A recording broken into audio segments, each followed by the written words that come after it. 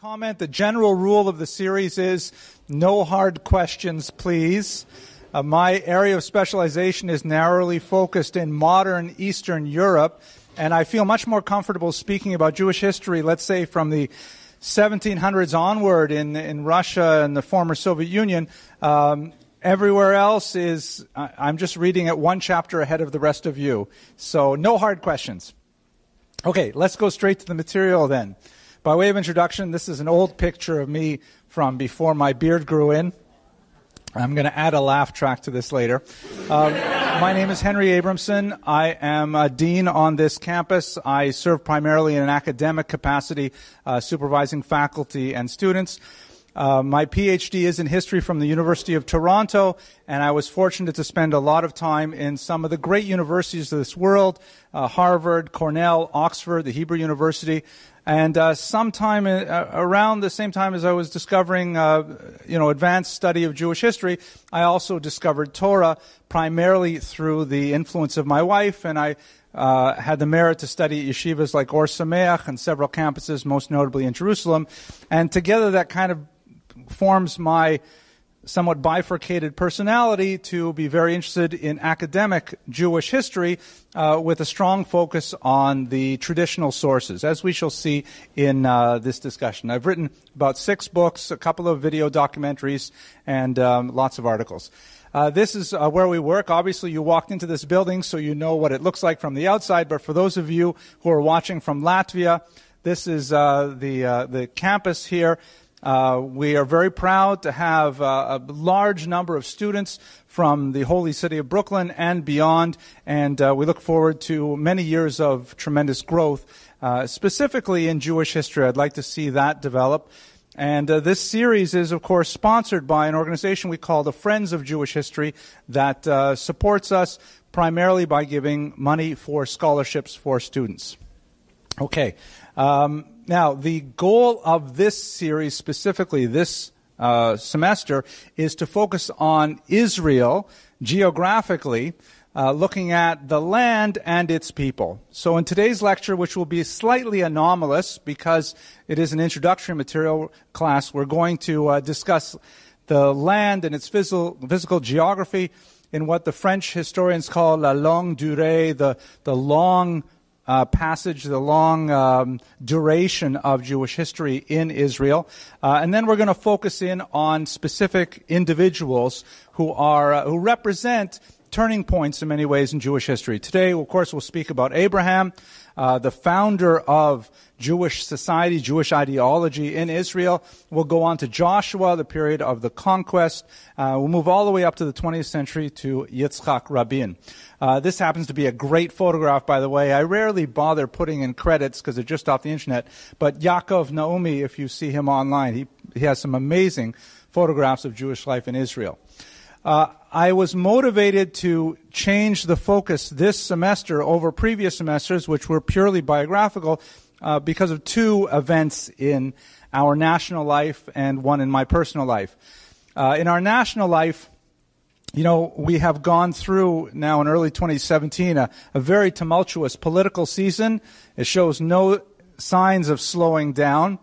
Uh, but I was personally very disappointed by the uh, relationship of the previous administration to contemporary Israeli politics, and especially disheartened by the vote in the United Nations that um, just made me feel like, you know what, I have to stand up and in whatever way I can try and bolster the perhaps flagging spirit of those who support the state of Israel. And so as a result, I came up with this idea of dedicating this semester specifically to Israel and underlining the Jewish connection with the land of Israel, which seems to be in doubt in many circles in the international community. The second issue, which is much more personal, is that um, my, uh, my son Alexander uh, decided to make aliyah and to become a chayal boded, a lone soldier. Very, uh, thank you, a very uh, perilous and uh, difficult journey that uh, he he's undertaking entirely on his own. And uh, besides sending money, I thought that promoting a series like this would help um, confer merit on my son so that he and the rest of the members of the armed forces there and in fact, all of the citizens of the region and inhabitants of the region enjoy peace and good health. So that's that's the overall introduction to the series. Uh, one last comment, very important.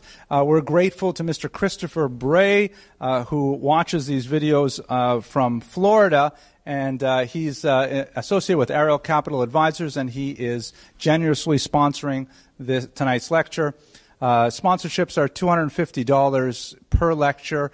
We give the lectures whether we're sponsored or not. We believe in providing this information for free and uh, promoting it more widely, but the money helps us fund uh, student scholarships, which is the, the main point why we're doing this.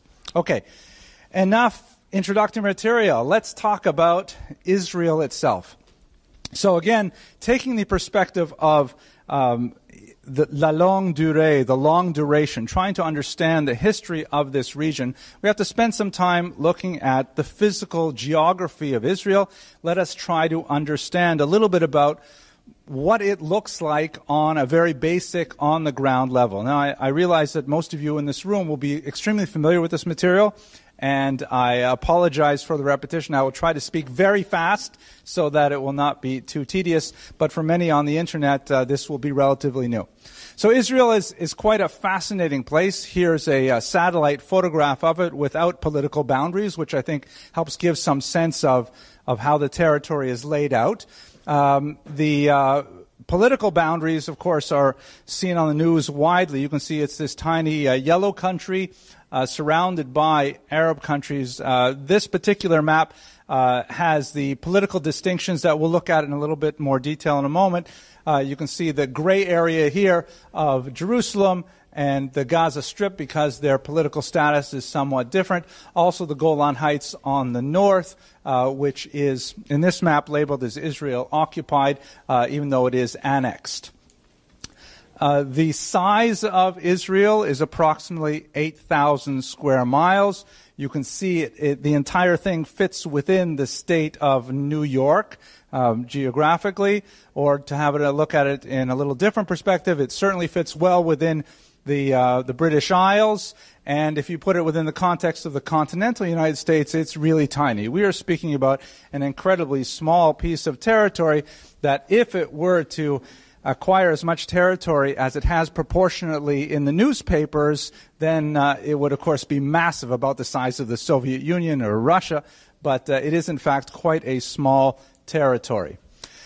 Um, let's look in a little more detail at the political boundaries as they are today in 2017.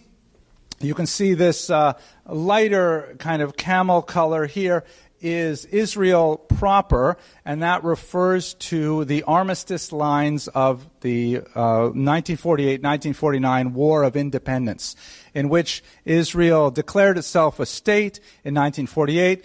Uh, they fought battles on all borders until not only did they secure their territory, they actually expanded a little bit, and this represents the region that was conquered. Very tiny wastes up here in the central region.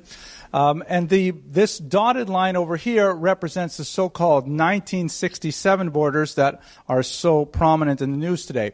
Because uh, in the Six-Day War of 1967, which we will discuss, God willing, in great detail at the end of this series, uh, Israel mounted very significant and successful military attacks on its neighbors uh, when they were threatened with destruction by another collective effort to push the Jews into the sea. And they conquered the uh, Gaza Strip, uh, this region here, which is known uh, widely as the West Bank because it is the west bank of the Jordan River. It's also known as uh, Shomron and Yehuda by its biblical names. And then up in the far north, the Golan region, which is a mountainous region that um, used to belong to Syria. Uh, it's very important to understand that these territories were treated very differently because they have huge implications for any potential political solution to the, or diplomatic solution to the um, current conflict. Um, the area surrounding Jerusalem, which was unified in 1967, was annexed, meaning it was made part of Israel territory proper, uh, which had implications for the Arabs who lived in that region. Uh, the Golan Heights was similarly annexed, even though in this map, uh, which is from the CIA, by the way, the uh, the map, uh, the, the, Golan Heights was also made part of Israel proper. Jerusalem was annexed because of its tremendous emotional, political, historical, spiritual value to the Jewish people. They wanted to have a single, undivided capital. Uh, the Golan Heights was annexed primarily for strategic value because it is uh, a highland overlooking the lowland both to the northwest, right over the capital of Syria, Damascus, and also looking over to the south. Uh, west, sorry, the northeast and the southwest look into the uh, Galilee, the Galil Valley, and as a result, it has extreme importance militarily. So those two regions were claimed by Israel proper. These two regions, the West Bank as a whole, excluding uh, the area around Jerusalem, and the Gaza Strip, were left open for some kind of proposed future negotiation that would perhaps demarcate the official boundaries of Israel in exchange for a lasting peace. Uh, that, of course, did not occur. I know everyone in this room, this is a very basic review of history, but that did not occur. Um, the West Bank remains to this day occupied. It did not go back to Jordan. Gaza, of course, um, was abandoned by Israel in the so-called disengagement of 2003, and it is uh, run entirely by Hamas a, uh, an Arab group that is considered a terrorist group by the United Nations, by America, I should say, the United States. Uh, but it's bounded on three sides by Israel and one side by Egypt. Um, so the, it has closed boundaries as a result. So that's a very quick lightning look at the political boundaries. What's the population? If you look at Israel, uh, the the camel color here, plus the two annexed regions around Jerusalem and the Golan Heights, you've got about 8.2 million, of whom 75% are Jewish. The other 25%, who are primarily Arab Muslims, also a significant number of Arab Christians, have citizenship. They are, in fact, Israeli citizens serve in, some uh, do serve in the army, the Druze, for example. Uh, they serve in parliament and they participate actively in the life of Israeli society. The West Bank has about 2.7 million inhabitants. That's referring to non-Israeli citizens only. There are also several hundred thousand Jews who are living in the region around Jerusalem and at scattered points throughout the West Bank. Gaza is uh, emptied of Jews after the disengagement, and it has approximately 1.7 million Arabs. So that's a very quick overview of the, the map. Um, I will pause if anyone has any questions of this lightning review. That's uh, a politically charged way of saying it. All of the vocabulary here is very difficult to, you know, language is a weapon and whatever kind of term you use, I'm trying to be very neutral as possible because we do have a wide viewership and I want to reach them. Um, like just referring it to the West Bank instead of calling it Yehuda and Shomron already says something. Occupied, though, in a technical term, and this is the term that we use in the CIA maps as well, means that uh, they are not extending citizenship to the people who live there. Uh, they are not expelling them, and they are not annexing the territory. So I, uh, perhaps a better term that is also used in Israeli materials is administered. But what does administered actually mean? I'm an administrator. You know, does that mean I'm administering this territory? Occupied, I think, conveys just a slight bit more meaning. That was almost a hard question. If you ask another hard question, I don't know. Oh, that's a really hard question. But uh, as when, when we will see when we get towards the end of this class, um, the demographics are crucial to the argument. And Jewish, the number, the population of Jews was remarkably low, except in certain centers like Hebron, the population of Jews was remarkably low. Let's, we'll get to it in really fine granular detail towards the end of the semester We get to the 20th century. Right now, I'm just giving you a quick Vorspeise, advance notice of where we're headed.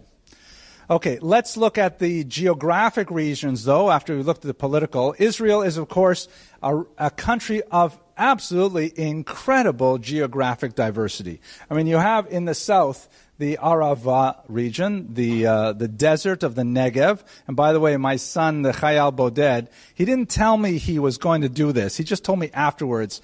He hiked alone from Beersheba to Eilat. I mean, that was crazy. It was like a multiple day hike alone you know, hardly any water or supplies, sleeping on the side of the road. You just hiked it. I know. What are you going to do when you're 17 and you're just, you know, full of that kind of energy? Uh, but, you know, this is a really arid desert region. And if you go to the north, Mount Hermon, you have skiing. You actually have snowfall in the, the highest mountain to the north of Israel.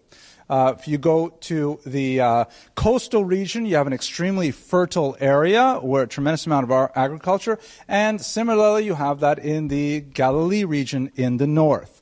Uh, and then when you go following the, the, Jordan River down southwards at the bottom of the Dead Sea, you actually have the lowest point on the face of the earth uh, remarkable contrasts in in space. Within again, let us recall this is only about 8,000 square miles, so it's really a phenomenal microcosm of many different climates within a remarkably small space.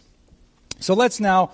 We spent about 15 minutes on introductory materials. Let's look a little bit at what it was like in the ancient period, uh, when it's often referred to as Canaan or Canaan in the biblical sources. Uh, Canaan or Israel, land of Israel, was part of the Fertile Crescent, which represented the earliest regions of agriculture in the ancient Near East. You've got this region here, which is known as Mesopotamia, uh, taken from the word meso, meaning between, and potamos, meaning rivers. Between the two rivers, the Euphrates and the Tigris rivers, which have uh, periodic flooding from the highlands in Central Asia, and the water flows down here to the Persian Gulf. So once the Sumerians in particular uh, developed some uh, ways of controlling the water flow, they were able to develop significant agriculture surrounding those two rivers. And they uh, they expanded dramatically because with the surplus of uh, income that reliable agriculture provided, they were able to eventually develop a very advanced civilization. It is in this region, of course, that our story begins with Abraham, but I don't want to get too far ahead of myself. The other major region of uh, significant agriculture in the, in the ancient Near East is, of course, the Nile River, which flows from south to north, hence the upper and the lower Nile, uh, with this huge delta region over here where you have regular water flow and uh, irrigation is possible off of the uh, Nile River. It's bordering basically on the Sahara Desert and the Sinai Desert over here, so it's really quite an amazing thing that you would have this extensive period of reliable uh, agriculture. And again, uh, I, I, don't think I've told you this before. Maybe I have last semester, some of you. Uh, the um, Have I told you the Abramson rule of history? Does anyone remember that? I don't think so. No undergraduates in the room. When you don't know the answer for something, why something happens, why a phenomenon exists, the answer can usually be expressed in one word. Anyone have an idea of that word? Money, exactly. Money. When you don't know why something happens, money is probably the region. So if you want to know why is it that civilization developed in Mesopotamia, in the Nile River Valley, in the Yellow Yangtze River Valley, and so on, the answer is money. Because when you have that reliable water source, you have reliable agriculture, you have concentration of, of, uh, of produce, surplus of produce. With a surplus of produce, you can pay for things like high priests and scribes and culture of all types. So that's why we have this ancient region. Now, the land of Israel is a moderately fertile region uh, in comparison to the Nile and to the Mesopotamian regions, but more significantly for our purposes is it is a, a region to traverse between those two other regions. Uh, Canaan, Lebanon as well, this is where people would basically travel when they're going from the Nile to the Euphrates or vice versa. It's extremely important as a transitional zone, as a liminal zone, and as a result, it captured a lot of uh, different cultures and ideas of peoples going back and forth throughout this region. If you look at uh, the way uh, inhabitants of Canaan would have understood themselves, um, this is a map from the 6th century, the so-called Medeba map, and I've transliterated some of the, uh, the Greek that's written here. Uh, it's facing to the east, right? North is that way. Um, you have uh, Ashdod here, Yehuda, the Dead Sea, and further outward, Jerusalem is over here, Jericho over there, and the the way that ancient uh, Israelites would have oriented themselves, and in fact, you see that also in the biblical Hebrew language. They would have oriented themselves in such a way that eastward meant forward. Mizrach really means forward, um, meaning towards the uh, advancing. And that this is the way they would have seen their world. Looking at what we know about trade routes, there are basically two big roads that traverse through ancient Israel and one sea route. The Derech Hayam, the sea route, of course, followed the coastline. Uh, and then you had the so-called Via Maris, uh, which goes over here. Sorry, this is the uh, the Via Maris is this one here, this red line that uh, hugs the coast, kind of like A1A down in Florida. Uh, and the Derech HaMelech, the King's Road, would go uh, up on the other side of the Jordan River. And then they would connect up around Damascus, and then you can make your way over to Babylon that way. And these were the two main routes that were traveled up and down Israel following the food supply. Uh, and we see this uh, marked upon in many places in Scripture and other um, um, other sources for the period. So, looking at Abraham, uh, he falls within this mysterious character of uh, those who come from across the river.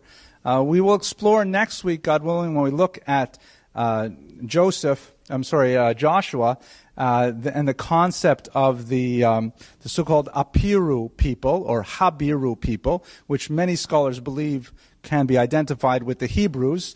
Uh, there are some doubts about that because when they have dug up some of the archaeological sites associated with the Apiru, they have found absolutely no evidence that they had a diet of Chinese food. So a lot of questions about it.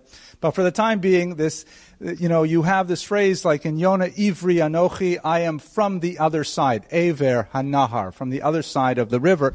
Uh, and we clearly see this with Abraham. Looking at this map here, which, whoops, we'll go further back. This is the map of the uh, ancient world. And you can see the green color here gives you some sense of the foodstuffs.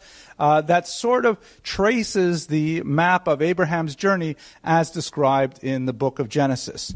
He starts out here in the uh, the um, the most early region of uh, of Babylon, of Sumeria.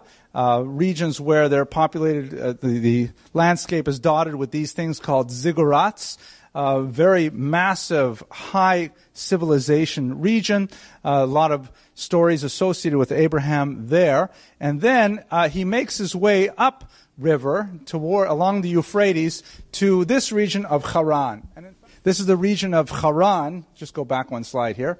Uh, Haran here in the north, which would be, you know, somewhat north of Aleppo here in this map in contemporary Syria. And this appears to be how Abraham refers to his own birthplace. When he sends his servant Eliezer, for example, to find a bride for his son, uh, he sends him to Haran, not to Ur. So there's a lot of interesting discussion among the commentaries. The Ramban uh, my good friend Rabbi Yaakov Trump, no relation, had a uh, he shared with me the other day uh, a beautiful passage in the, the, Ramban's commentary on the Torah that addresses the issue of how come Abraham is apparently from Ur, from Haran, and it seems to be the consensus is that uh, he spent his childhood in Ur, but then with his father they lived in Haran later on in life, and that's where where he associated much of his activity. Uh, looking at this archaeological dig here uh, some of the ruins of Haran, I just want to mention that one of the problems that we will encounter in the first few weeks of this course is using archaeological data to support the biblical narrative, which is a, fraught with problems. Uh, for a long time, many scholars believed that whenever you found the foundations of houses that had four distinct rooms, that was a uniquely Jewish form of architecture. I'm not exactly sure why. Um, And also, if you found in the uh, the various archaeological digs an absence of pig bones, because pigs were domesticated by that time, but Jewish civilizations, uh, according to the laws of kashrut, would not keep pigs. Many archaeologists, however, have questioned these particular um, sort of uh, axioms and have argued that they, they don't necessarily conform to reality. Uh, looking at homes today, for example, it's hard to understand what would specifically make a home architecturally more Jewish than a non Jewish home, but nevertheless, we'll leave that for uh, next week when we look at Joshua in greater detail. Um, and then finally, he makes his way down to the south, um, eventually to the region of Hebron uh, where uh, he is buried in the Marat Machpelah, the cave of the uh, pairs, as it is called, and much of his life story is told in the city of Hebron. Uh, he, of Hebron. He also has a brief trip into Egypt so this, the Fertile Crescent, in other words, is really the stomping grounds of Abraham, quite literally, and describe his um, biography within the same geographic region as we have the uh, surplus of food because of the water flow. Any questions or arguments to this point? Perfectly clear as noonday. Okay, so let's move on. And uh, let's look at our sources. Now, this is where it gets a little bit more difficult. First of all, let's just place Abraham's life within a chronology so we understand exactly when we are speaking about here. And again, I apologize to many of you in this audience for whom this is uh, literally day school material. Uh, the, those of you on the internet will perhaps find it more uh, novel. So if we take a, a, timeline and we place the year zero right here in the middle, zero, of course, in the common era, the way that we count uh, years in the secular form today, and we put us up over here in the year 2017, and this is the context where we have Israeli statehood. Um, looking backwards towards the scope of Jewish history, you have the uh, Roman exile at the end of the first century, uh, and then much further back, you have the conquest of Israel by Joshua around 1300 before the Common Era, and then all the way back here in the year 2000, more or less, uh, ironically 1948. Uh, is the uh, the era of Abraham and the patriarchs. So roughly going all the way back to zero, and then again is the period that we are discussing today. From a historiographic perspective, the difficult part is that almost all of this period is totally reliant on Hebrew sources, meaning internal Jewish sources, such as notably the Bible. We do not have a lot of external markers that explicitly and indubitably validate the narrative that we have in the Bible. So, if we step back, because we are, after all, in a college, and we think about this in other contexts, if we were referring to, let's say, Chinese history or uh, Native American history or something like that, when you don't have external data points to validate a historical narrative, the tendency is to place that within a lower level of epistemological value and say it is in the realm of, let's say, legend rather than history, or memory, culture, tradition, heritage, those kinds of words rather than history.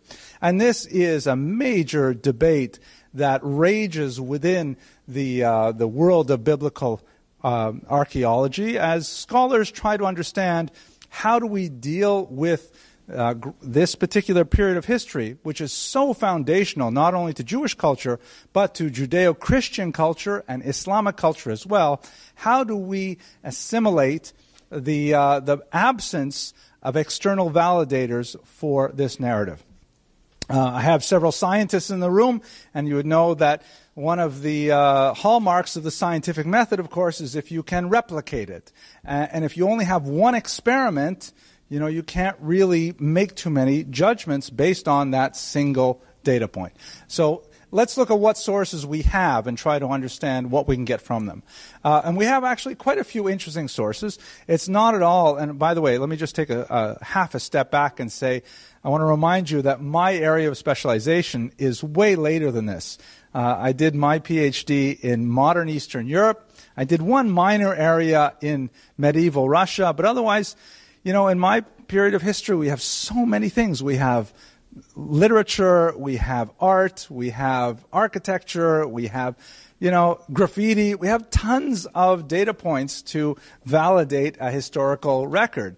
I feel so bad for these people studying ancient history because they like they find a piece of a broken pot and they can spend their life studying that little piece of broken pot and trying to squeeze every kind of little bit of data point out of it. It's very hard.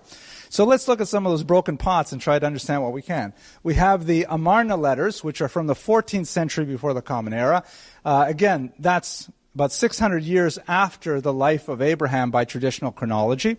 Uh, these are uh, letters, of course, the uh, the actual material is clay, uh, and the um, the inscriptions, as you can see, is cuneiform. A cuneiform means literally wedge shaped, because the way they would write these things is they would have soft clay, and they would ta- have like a, a wedge shaped tool, which looked suspiciously like a single chopstick.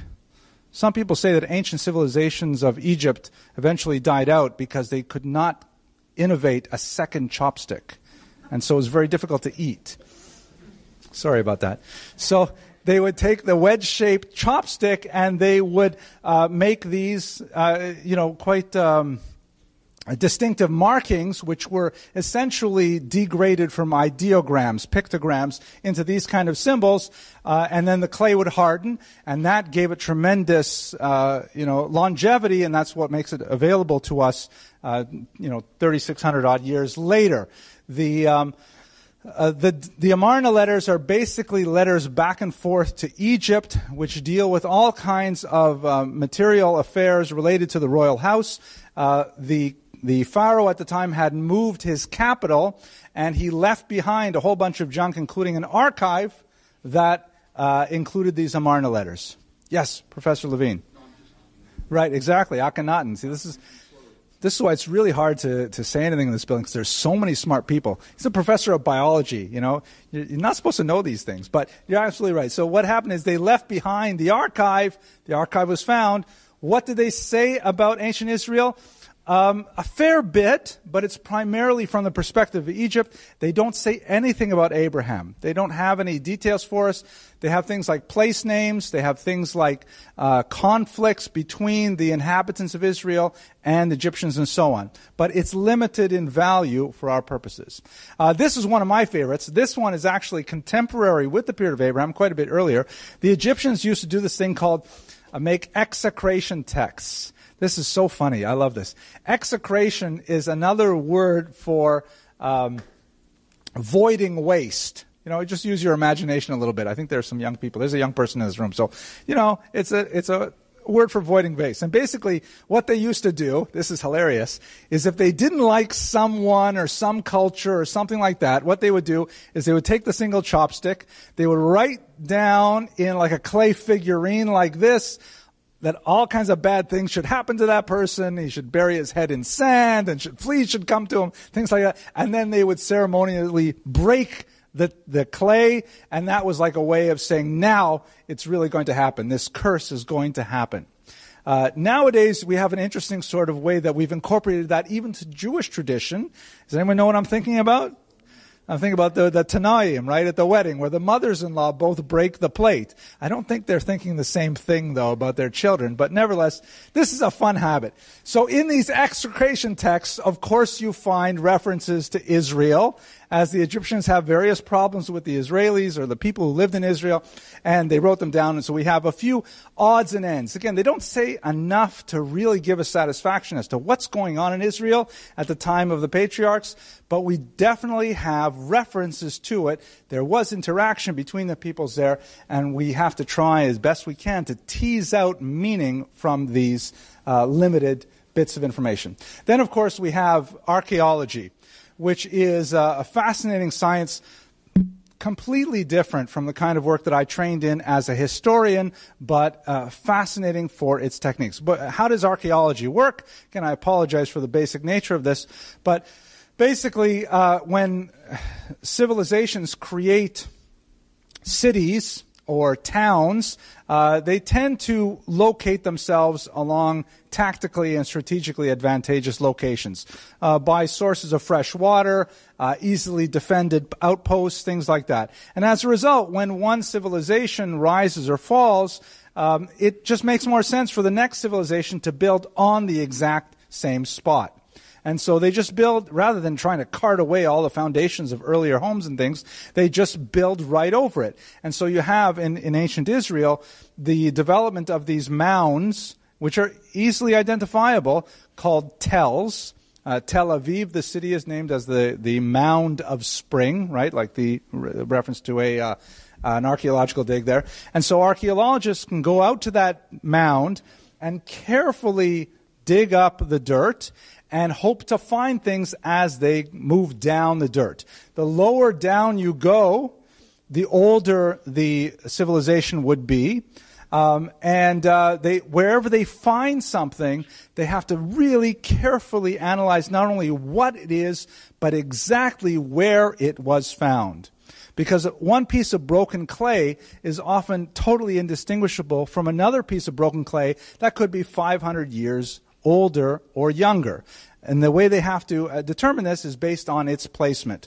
Obviously, if you have sloppy archaeologists who just go in there with shovels and start digging things around looking for treasure, they completely ruin the site and it's impossible to make any analysis of this.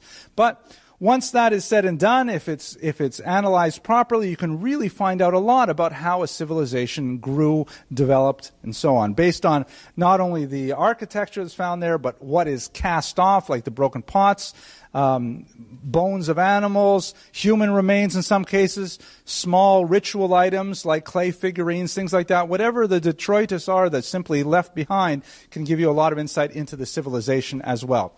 Furthermore, when you analyze things like the pottery, a great deal has been made out of the style of the pottery, the materials that it is made with, the uh, coloring of the pottery, because that sometimes gives you some indication as to where it comes from. For example, if you were to perform an archaeological dig in our kitchen, it wouldn't take very long because my wife is extremely organized, but you would find something called china in the cabinet. And China, just by its very name, indicates that it's a high level of commerce and that obviously we're buying things from the other side of the globe. Uh, actually, it's from Denmark more, but that you get the idea of how these things work. You would also find that it's broken in many places, which leads you to the understanding that we have lots of little kids constantly breaking our china.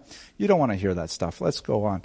Okay, so um, unfortunately for us as historians, when we want to take this archaeological data back to Abraham and understand something about the patriarchs, we are once again stymied because the margin for error is so huge. You know, whether you find uh, this piece of pottery six inches higher or six inches lower completely changes your conclusions.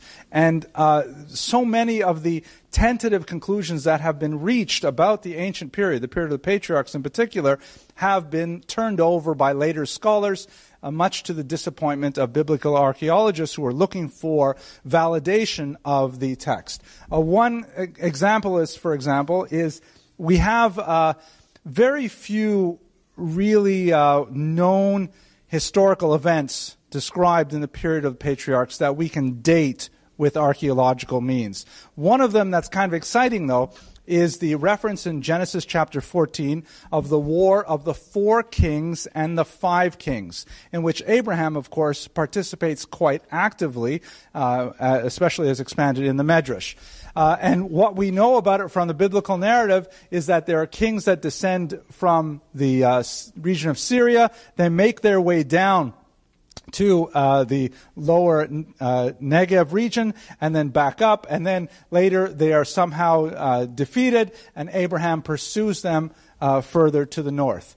And archaeological evidence has indicated a large number of civilizations that were all destroyed at the same time in this region, which is tantalizingly close to pointing to the War of the Four Kings and the Five Kings.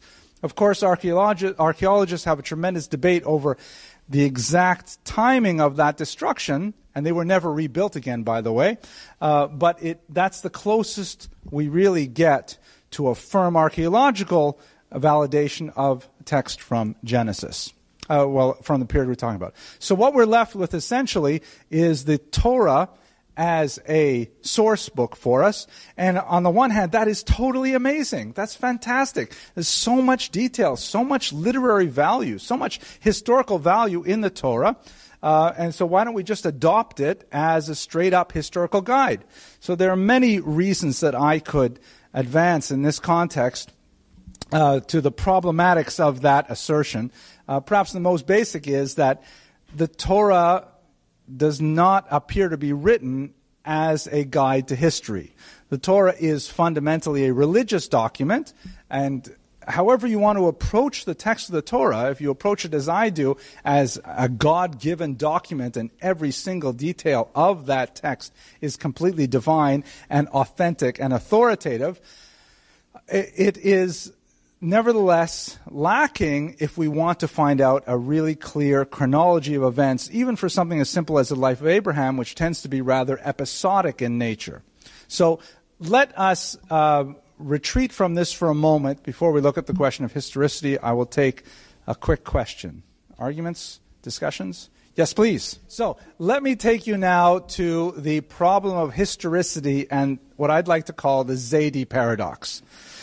Um, I, after doing a, a you know a, a, marginal review of the literature on this subject, I'm what some archaeologists would call "quote unquote" a conservative maximalist, uh, which means my approach is I believe in the Torah, and if you can show me stuff that proves it, I think that's fantastic. Like proves it from an external point of view. I think that's fantastic. If you show me stuff that doesn't prove it or discounts it, I say, well, that's very interesting. I don't know what that means, and I move on because you know, well, we'll see why in a second.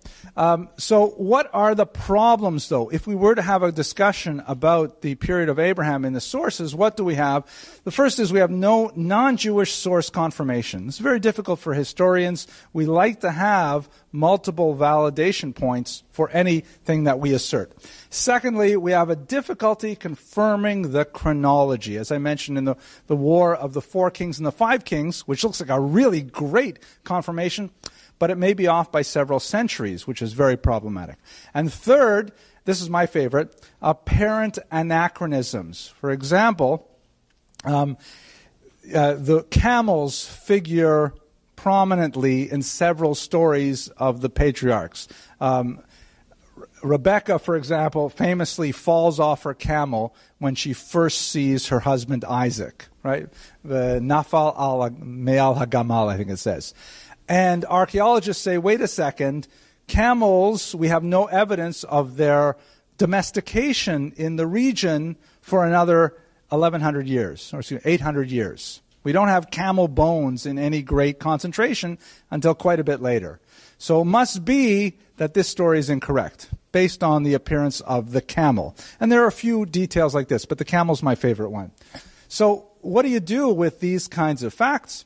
Uh, let me give you the Zaidi paradox. And if you'll forgive me, I'm going to take you a little bit into personal family history. So here's my mom and dad. Uh, my mom is the one on the left. And um, this is the their wedding day. You know, they got into the back of a car in Montreal and they drove off. I, of course, know each of these people well. Uh, I interact with them. I have personal, um, firsthand knowledge of their lives. If we go back a little further, here's my Zaidi and my Bubi, my grandfather and my grandmother. Um, and um, this picture was taken in around 1925. Um, and I also have personal firsthand knowledge of them. Uh, my grandmother, Allah Shalom, passed away in 1969 or sorry, my grandfather in 69, my grandmother in 1971, but I can say with the force of witness testimony that, yeah, I saw them, I interacted with them. Um, here is on the, the top is my, my grandmother on the other side. Believe me, there's a point to this. Uh, and because we all came from the same little region of Lithuania, they actually knew each other. My mother's family and my father's family knew each other well. Here is my grandmother holding her future son in law, my father, uh, when he was about four or five years old. I'm not sure she would have been so pleased had she known he would marry her daughter, but I have direct first-hand information about Safta as well. That's it. You know, I was born in Canada. I can go back two generations of people that I knew personally. But my Safta did tell me about these people, my great grandfather, Yaakov David, and his wife, Devora. It's one of their daughters, Hadassah, in the middle there. I never met them, but I have a strong belief in their existence because I interact with a person who claimed to have firsthand interaction with them as a result, and I will rely on her testimony. I have other multiple markers too, because my own father, Olav Shalom, was named Yaakov David after Yaakov David, who was known as the town Chacham, and so they, there's a, another data point to prove that these people actually existed. But if you want to go back further than, say, 1920 in Lithuania, then we have a serious problem. I can go on Ancestry.com and I can find out, okay, a Victor Abramson, who was probably born sometime around 1839, um, and he was pr- born, he was uh, born to Shmelko Abramson. That's a great name. I, am not sure. That's probably from Shmuel. Shmelko, right? Uh, Marcus. That's probably from Marks and Spencer, I'm thinking maybe. Okay. Uh, 1780. Uh, there's a Mordcha in 1760, and then the census records in Lithuania run out. And so, what do I have to say about my mystery Zaidi? Do I say he didn't exist? Do I say there was no such mystery Zaidi because I have no validation anywhere, anytime for the mystery Zaidi? Obviously, that would be absurd. So the mystery Zaidi is there, and I believe that he existed. I just don't know much about him. I also have to add to this a huge family connection. Here you have uh, three cousins the rather hirsute guy on the left is me, believe it or not, circa 1980. We all share, first cousins, we all share the same narrative of a common ancestor that we never met and we don't have any other data about. To posit that because we don't have any external validations for their existence outside of our own internal heritage is an absurdity the fact that we exist, the fact that we live and breathe and call ourselves Abramsons, is in itself, ipso facto, a proof to the existence of this Ur ancestor, this earlier ancestor, Abraham. Now, you might want to say, well, what about the camels then? What do you do with the camels? So I can tell you that with, we go back to my great grandfather, Yaakov David, who I mentioned was the sage. Um, the, my the only I only know two stories about him, um, and they were both told to me by my grandmother Allah Shalom, who had a somewhat wicked and nasty and uh, she had a, a, a, strange sense of humor. And um, I'm not sure if the stories that she told were 100% accurate. But nevertheless, I will tell them to you very quickly. One story is that he was so engrossed in studying uh, a manuscript of the Rambams uh, that he held the candle too close and the top of the page caught fire. And uh, Yaakov David refused to put out the fire until he had finished the paragraph. The other story they tell about him is that he used to joke around with a lot of the young people in town. He used to like, you know, smile at the young girls and make little comments and things like that. And my grandmother, Allah Shalom, says that when they said to him, Yaakov David, what are you doing? You know, you're a Talmud Chacham. You're, you're an elder in the town. It's not right for you to be speaking like this with young people. And he said to them, apparently, according to my grandmother, Allah Shalom, not even a Talmud Chacham can eat potato latkes every day. Kind of an enigmatic statement. Uh, variety is the very spice of life, things like that. Now, uh, these two stories, that's all I know about Yaakov David, other than the fact that I know he existed and so on. So I, I have lots of questions on these stories. Like, for example, did he really not put out the the, the page before it burned down. And what do you mean manuscript? He would, he's living in the 20th century. He would have a book, not a manuscript. It's like a camel. What's a camel doing here? Why would a guy living in a tiny little shtetl in Lithuania have a manuscript of the Rambam? So I might want to throw the whole story out the window and say, ah, look, this is detailed, it's an anachronism. It doesn't work. This also stretches credulity. And so as a result, I'm personally not bothered by the camel story. I think there are a lot of other reasons why we can get to the, the bottom of that story, uh, not for us today. Okay, so uh, even though we do suffer from a paucity of sources, we nevertheless have a phenomenal body of knowledge about this man, Avraham. It is, it's true, from a historiographic point of view, uh, qualified because these are all internal stories. But just like I stand together arm in arm with my cousins and we celebrate the, the life of our esteemed mystery ancestor, how much more so can we celebrate the life of Avram Avinu? Now, Abraham, our father. So th- there are so many ways that we could go at the biblical text. I know that the vast majority of you in this room are very well acquainted with this story, and I'm sure you go through it every year. Perhaps you go through it twice every year, learning it in the Aramaic translation as well. Uh, to summarize it, I'd like to really focus on the ten trials uh, of Abraham, which are uh, attested to in the later rabbinic literature. The biblical narrative itself, as I mentioned earlier, is, is rather episodic and sometimes truncated. Uh, it tends to emphasize a few really key details that resonate in the Middle East. Like, for example, Abraham is associated um, in the Kabbalistic vision with chesed, with kindness, with uh, going out of his way to help others. And a good example of that, of course, is um, when he greets the travelers who turn out later to be angels on their way to uh, do several things, including destroy Sodom and Gomorrah. And this is something in a nomadic culture like uh, the the Middle East that uh, this would be extremely important because people are really at the edge of uh, survival in such an arid uh, climate.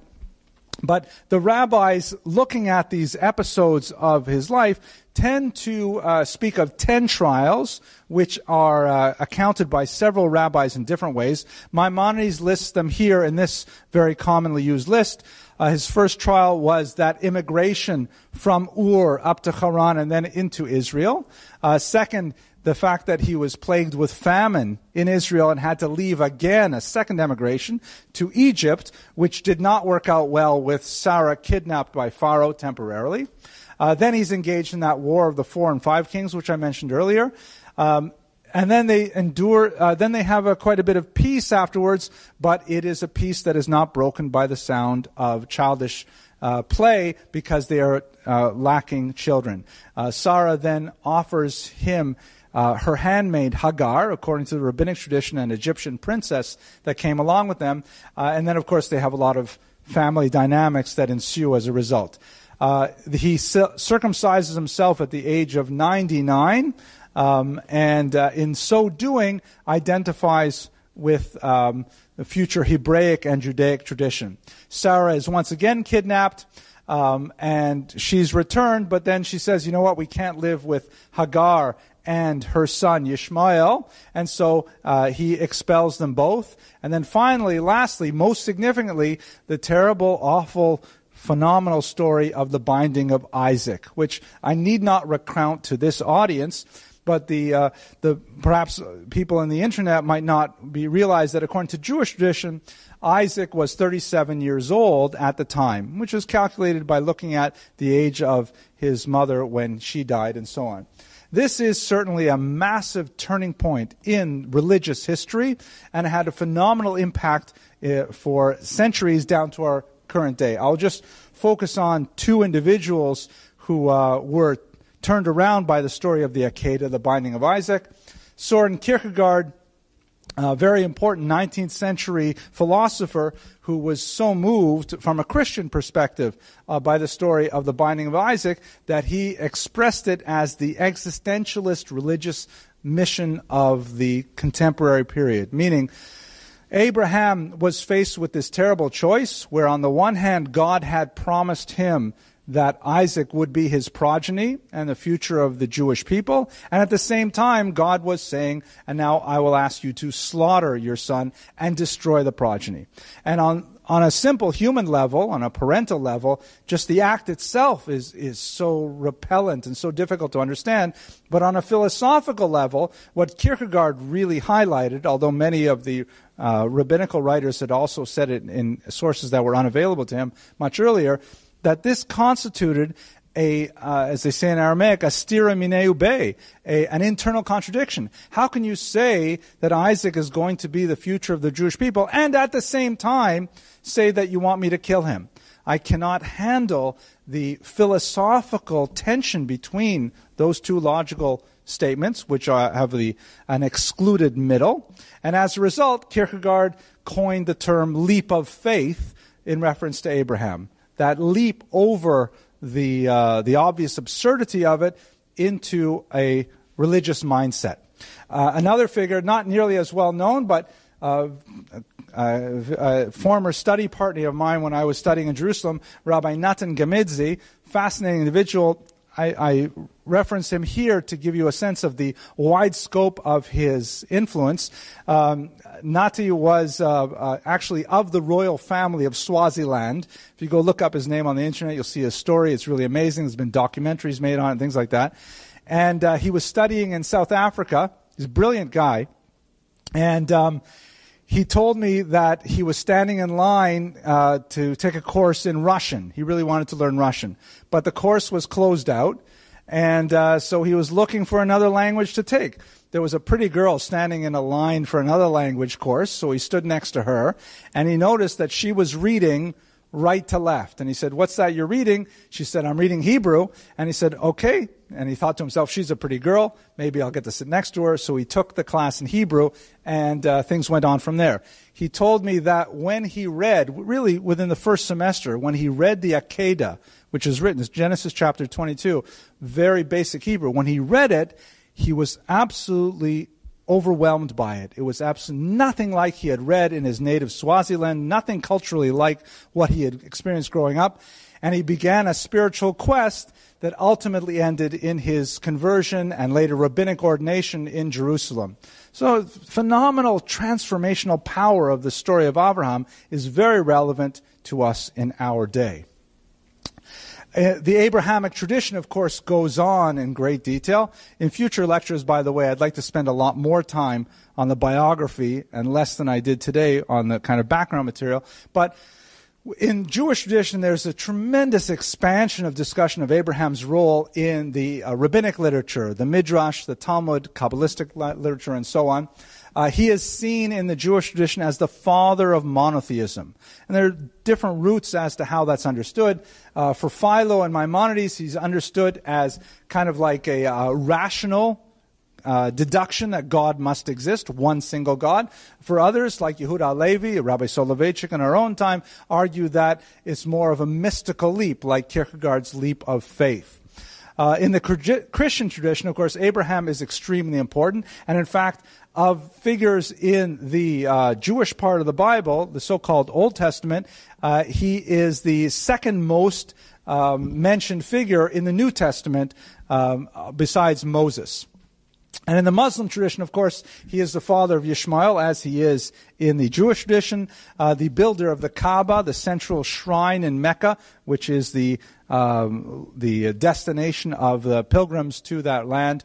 Um, and uh, the term Islam itself, which means one who submits, like uh, Israel literally means one who struggles, the, he who will struggle. Uh, the term Islam here refers to Abraham's submission to God. So the very basis of the Muslim faith, its nomenclature, goes back to Abraham. So that concludes my remarks on Abraham. I am very grateful for your patience throughout these 60 minutes. Um, I hope that uh, you'll join us next week when we look at the uh, controversy surrounding the conquest of Israel under Joshua, the, the Exodus, a lot of fascinating materials, and I hope you have an excellent night.